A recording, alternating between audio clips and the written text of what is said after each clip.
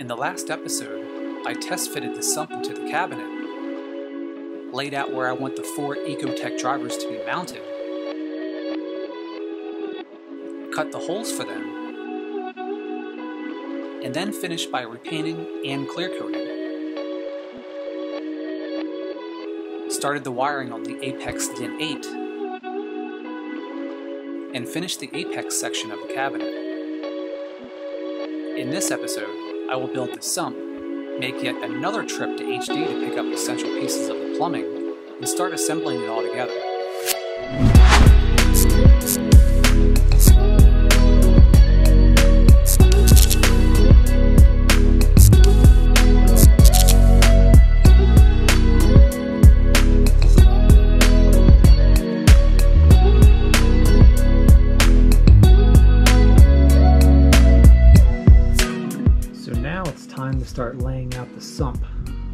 Glass where it needs to be.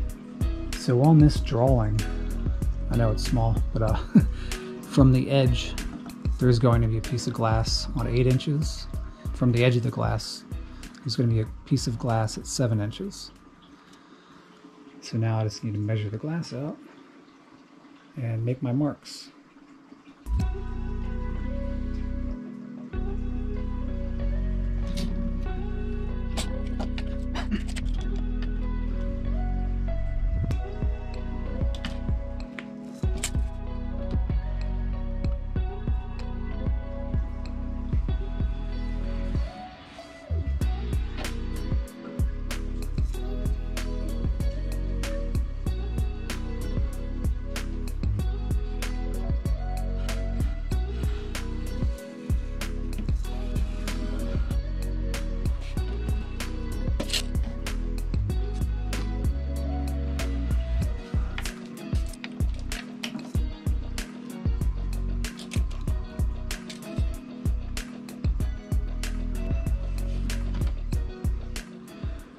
And now the sump has been marked on both sides.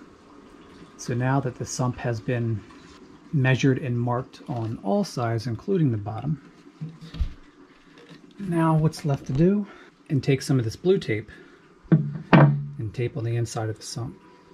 I'll be the first to admit I am definitely not good at cutting glass. It seems like every time I try to cut it, it just it, it never works out. So I had my local glass um, company which is like about a mile away, cut me some glass. And it's supposed to be the width of the sump internally and nine inches high. And um, looks like they did a really good job. It's very nice, nice glass, and it's pretty thick too. So that's going to go in there.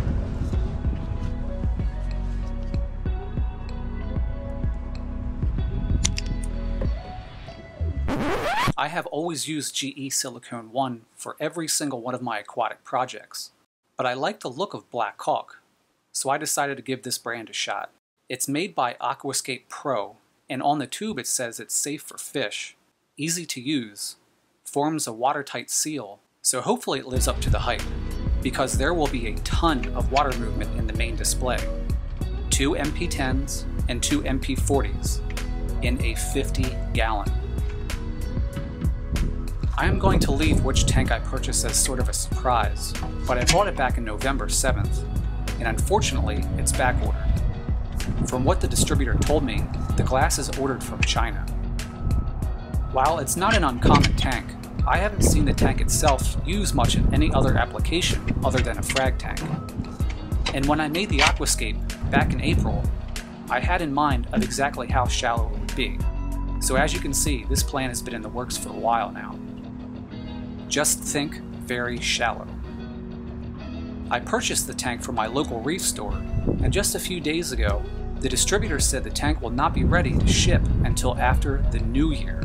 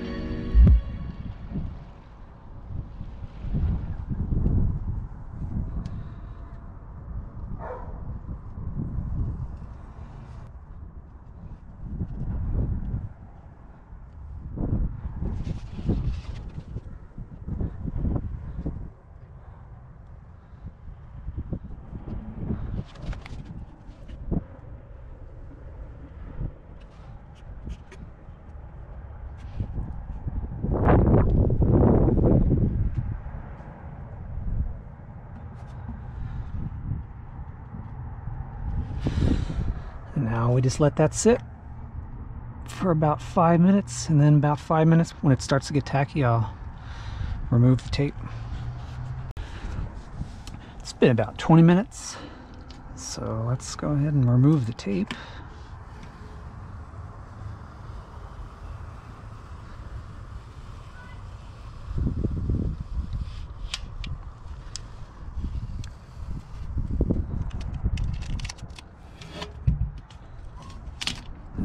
piece.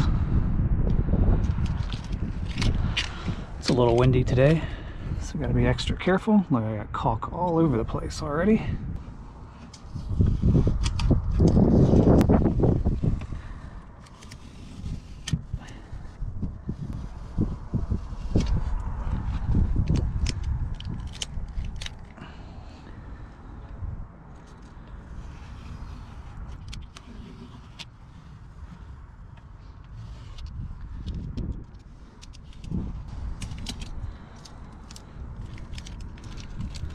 And there we are. Once that dries, let's take a razor blade and clean it up. So now that the one baffle is in place, it looks pretty good to me. So I'm going to move on to the second baffle. And I've got it prepared over here. And what I've done, I've just put in some magnets as a as a riser for the other piece of glass. And I just put them in here as straight as I can. And then I'm gonna lay down a bead of caulk around the line and then slide my glass into place and then wait for that to dry and the sump should be done except for a few more accessories I need to put on which I'll include later. So I think that turned out pretty well. I'm gonna wait for this to dry and then I'll take my razor blade and scrape off any excess caulk around the edges that I desire like that little gunk right there. Hopefully I can fit a razor blade in there. If not, that's the back anyway. Maybe I'll just paint it. You know, remove that. And um, let's go on something else. In my other sump, which was made less than six months ago, I made a heater holder made out of ABS plastic. And honestly, it works so well I decided to make another for this sump. So now I have to make a quick trip to HD to get some more plumbing supplies. So I just got back, I just got out of Home Depot. Got a bunch of plumbing stuff. So that's, that's gonna be next on the list. So in my other tank, my overflow looked like this. And to me, it's just too much space in between there when I mount the glass for the overflow in the tank, it's going to be diagonal and there's not going to be that much room inside of there. So what I'm going to do is I'm going to cut these pieces around here and around here. So instead of being this big, it should look something like that.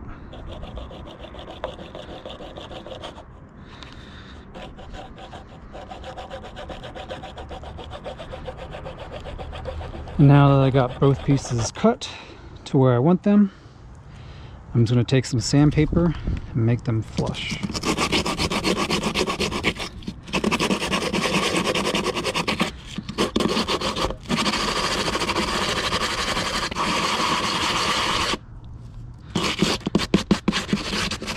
Now what I got to do next is measure the inside diameter on both put it together and then cut some pipe to fit in between there. So the next thing I'm going to do is instead of using one of those inch caps and then drawing a hole in it, I'm just going to take some ABS plastic, you know, uh, cut out a hole and then super glue that on top. So with the circle cut out, fits on the top. And then I just drill a hole in the center and stick an airline tube out.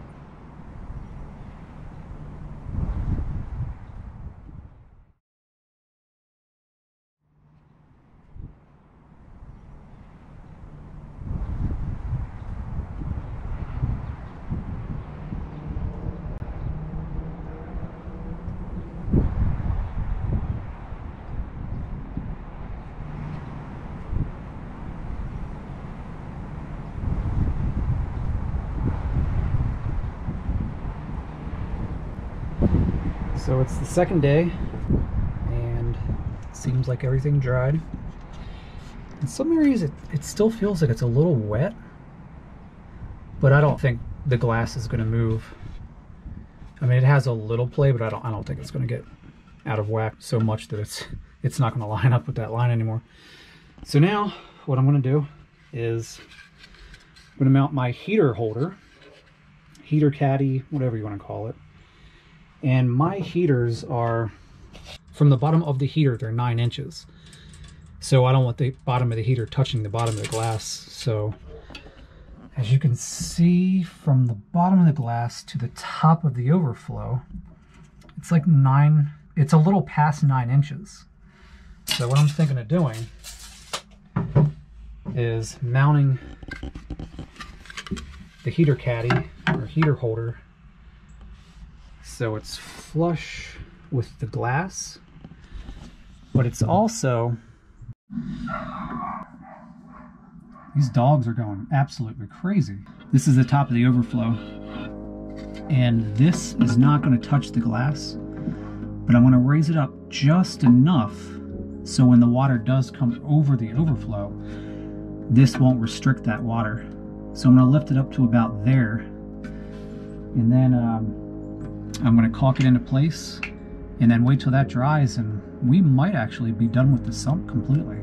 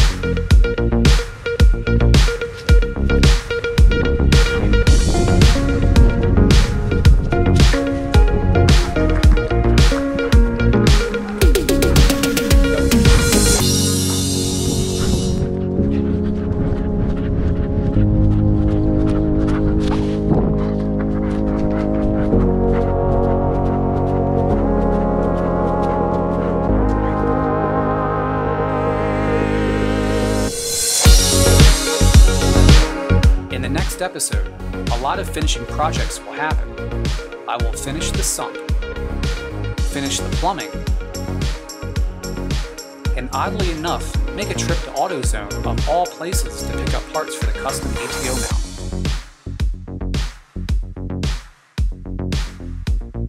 I hope you are enjoying the videos, and if you are, please like and subscribe if you haven't already. It's free and a great way to support the channel.